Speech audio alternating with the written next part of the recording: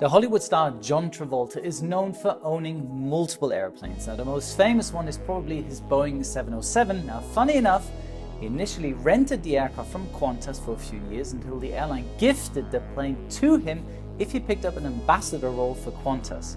He happily accepted and traveled the world in the Qantas livery 707 and sadly since 2017 the plane has gone through an extensive overhaul and is planned to be put into a museum in the future. Seems like John has to settle with one of his other seven jets he owns and flies regularly. now you know, hit the like button and follow for more aviation facts every day.